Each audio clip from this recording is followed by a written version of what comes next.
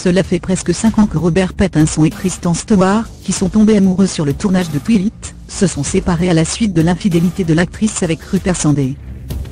Chacun mène à présent sa petite vie, Robert en célibataire convoité après sa séparation avec FK Atwi d'un côté, et Kristen en couple et heureuse avec la mannequin Stella Maxwell d'un autre.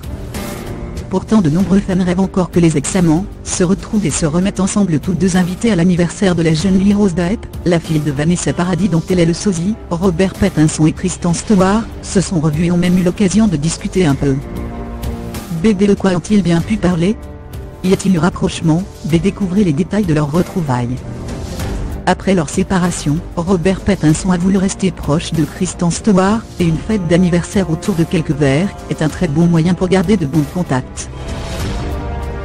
Une source présente au château le 1er juin dernier, a révélé que Rob avait l'air de plus s'amuser à papoter avec les gens et passa du bon temps.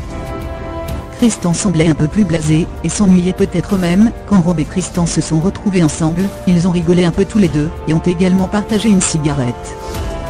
Ils avaient une conversation très cordiale, mais elle restait basique. Il n'y a pas eu de drama, ils étaient très cool l'un envers l'autre.